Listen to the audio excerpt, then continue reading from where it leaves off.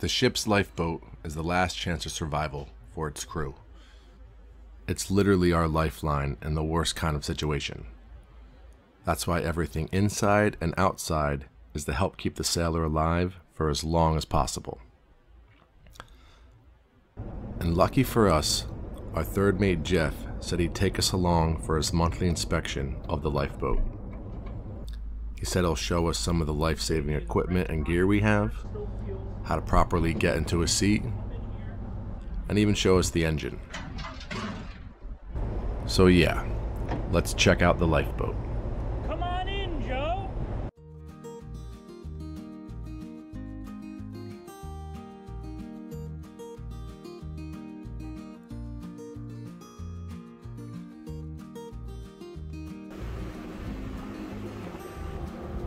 Please mind the audio, guys. The lifeboat was stowed behind the stack, and it is very loud back here. I threw in some subtitles to better understand Jeff. Enjoy. Hello. Welcome to our free fall lifeboat. Uh, this is our main method of uh, abandoning ship that was ever needed. Obviously, that's something that we don't want to do. Third mate on here. So this is our free fall lifeboat, 21 feet long, uh, fits 30 people. Uh, it's a tight fit. Gets oddly hot in here. It's a lot of people in a small space. So obviously, abandoning ship is the last resort. Lights, everything like that. Um, it's definitely a tight fit, for sure.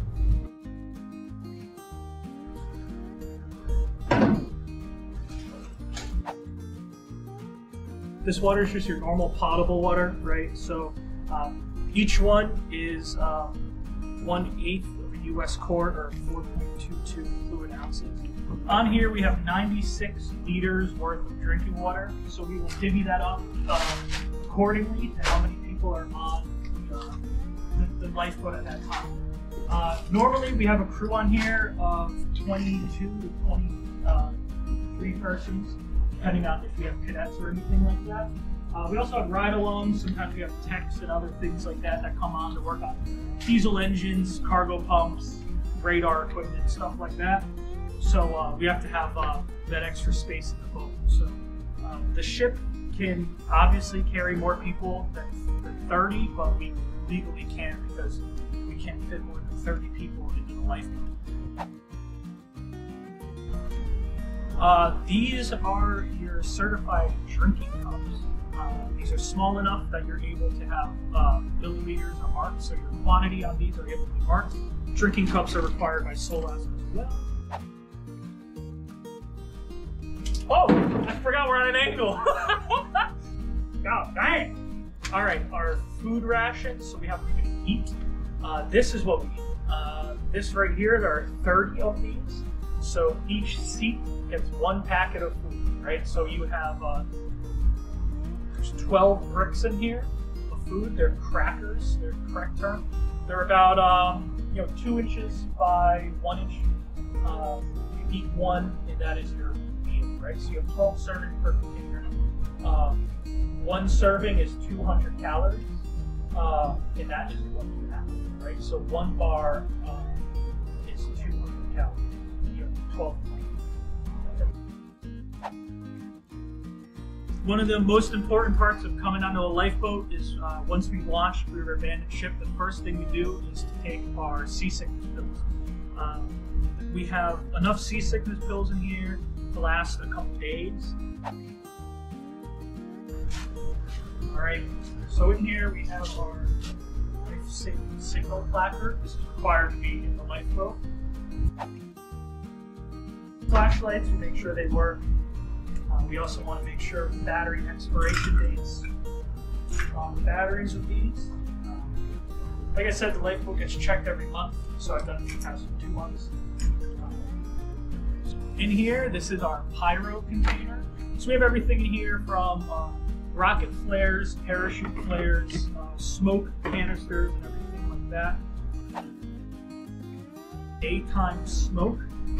Uh, and uh, we check our expiration dates, everything like that. So this one is good until 05 of 23. So this baby is a red rocket flare. So these are the ones that you see uh, probably if you've ever seen any type of uh, cinematography or anything like that. These are the ones that go up as a rocket. They kind of hang out in the air, burn, and then fizzle out. Here we have a jackknife. So a jackknife is a knife that folds. Uh, so it's be your normal like bolt type, which is Swiss Army knife type of thing. Uh, you can see that this is a approved jackknife. It has the built-in can opener. Uh, can openers, can openers are another part of uh, required materials. In here you have a whistle. Uh, all of our life jackets and survival suits have whistles, uh, but it is required that you have a singular whistle separate SOLAS here we have smaller can openers. Uh, the reason we have can openers is uh, part of our abandoned ship procedures is for the uh, storage department or the lovely people that make our delicious food to um, bring more provisions, right? So we have water and food. Food is a, a loose term, I guess you could say. Uh, we have rations, but uh, it would be nice to have um, actual food, right? So they can grab canned beans. Have uh, mirrors, uh, so this would be used to signal aircraft or other vessels during the daytime. It's actually extremely effective. U.S. Coast Guard approved emergency fishing gear. So uh, everyone likes fresh sushi, so it doesn't mean you can't have it on your lifeboat after you abandon ship, right? So uh, these are in sealed packages. I can't really show you what's in here, but there's hooks, hand lines, uh, things like that. In here we have uh, three thermal protective aids. So thermal protective aids are going to be like those tin foil type blankets that you'll see people use to retain body heat. Is our searchlight. So we need an approved searchlight. Uh, as you can see, this just has your normal like 12 volt plug, right? So I'll show you where it plugs in on top in a little bit, but uh, your normal searchlight here. Um, one of the most important parts uh, of the lifeboat is your first aid kit. As you can see, it's fully sealed, right? So uh, we inspect that monthly to make sure that the uh, first aid kit is sealed. If it is broken, uh, we have um, others to. The uh, there's things in here: aspirin, burn gel. Uh, there's eye wash, um, ammonia inhalants in case someone were to pass out, antiseptic towelettes, uh, your normal stuff, bandages, band-aids, uh, everything that you would need uh, for a small first aid. The uh, baler uh, is just literally a scoop for water. All right, so this is our sea anchor. So what a sea anchor is, is uh, everyone knows what an anchor on a boat is, uh, but uh, this vessel does not have an anchor. Um, so we have a sea anchor. So what um, this is, is it's a just a large like canvas or flat rubber material, and it is a massive cone. So it's a massive cone shape, and um, what this will do is it will let us throw it over the side. Obviously connect it to the vessel, and we'll be able to stem the uh, currents and things like that, right? Because this thing's going to fill up with water. It'll create a lot of um, resistance, and it will slow the vessel down from drifting, right? Because um, we have a finite amount of fuel in the lifeboat. Um, also, you can run into mechanical issues, everything like that. And if you're just floating free, drifting around with no resistance or no type of anchor or sea anchor, uh, you're gonna um, you're gonna run into some issues, get tossed around. a lot. So you can see it starts in a fatter area and comes down to a skinnier area, right? Uh, in here we have a toolbox. So uh, we have a diesel engine lifeboat. So uh, our engineers have a kit of supplies that they need. Uh, we have oil filters, things like that. They have the instruction manual for the actual lifeboat engine itself. Our SART, our search and rescue uh, radar transponder. Uh, what these are meant for are um, lo- notifying nearby vessels that that um, the survival craft has been launched and that you will uh, need assistance. So these get tested monthly, today. Um, and it shows up on the radar, so other vessels will have a clear, distinct way to know that there is a vessel in distress. So I'll show you to sit in the seats. Uh, keep in mind, I'm six feet tall, so I'm not massively tall, um, and I'm fairly fit. So you come down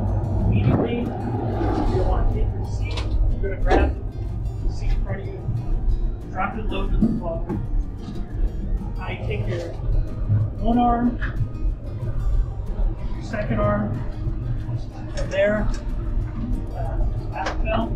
So this is actually one continuous belt, uh, uh, one continuous piece of belt, right? So this part here comes here, all comes together, and we have a latch down here.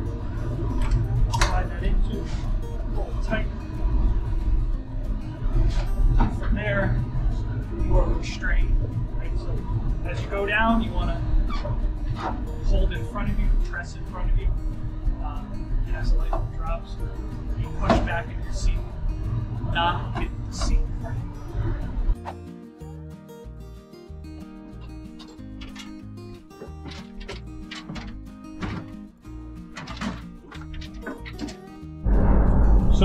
underneath these panels, we have our lifeboat engine. So our engine is a standard, fairly basic diesel engine.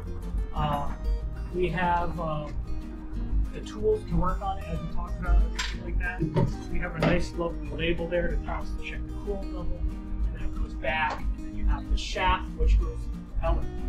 Um, right there, you see those are control cables our gear selector, and you can follow this under blue wire to there. That is your um, throttle cable. Comes down to the engine. Uh, right here is these two cylinders on this side and a cylinder on that side. That is the compressed air system on the life raft. So we are able to have a pressurized atmosphere within the life raft or the lifeboat, um, like that, and uh, that will prevent any type of toxic atmosphere, toxic gases, anything like that from entering the lifeboat.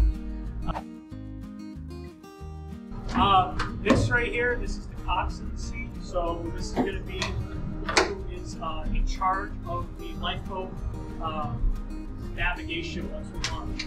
On our uh, lifeboat, this is the chief mate. So the chief mate is the one driving, the captain is their co-word here. That is the uh, passenger. The way that this lifeboat is released is uh, via this uh, pump right here, right? So um, right here you have a bypass valve on this little guy. So you would tighten that bypass valve, pull this pin, pump that handle, and uh, off you go. One thing that's super important that you want to make sure before you pull that is A, make sure everyone's strapped in and ready to go. B, make sure your back hatch and front hatch are secure. Uh, this thing turns into a submarine for half a second. So you're fully underwater. Don't want any ingress of water in the lifeboat before you pump this. Uh, per the manual, it could take anywhere between 2 to 15 pumps.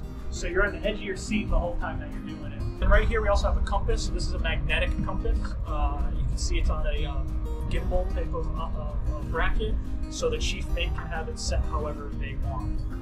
on here it's fairly basic. We have obviously our steering wheel. Uh, we have our switches for uh, lighting inside the lifeboat, outside the lifeboat, and then our navigation lights. Um, up here is our uh, engine control panel. So we have our switches to start and stop, which we'll be going over here shortly. You have your RPM indicator, your oil pressure, oil temperature indicator up there as well. And then right here you have your standard uh, vessel um, gear selector and throttle all in one. Uh, right here, it is our uh, water mist system uh, control valve. uh, that we'll be testing once we launch the lifeboat. So this will be um, open or closed. Right now it's in the closed position, and then when you open it, you, um, water gets dumped all over the side of the vessel. Yeah.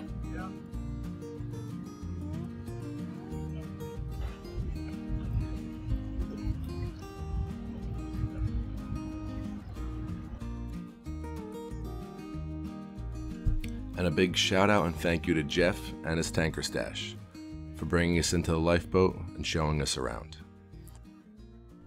Also, be sure to check out the next video because next time we launch the lifeboat.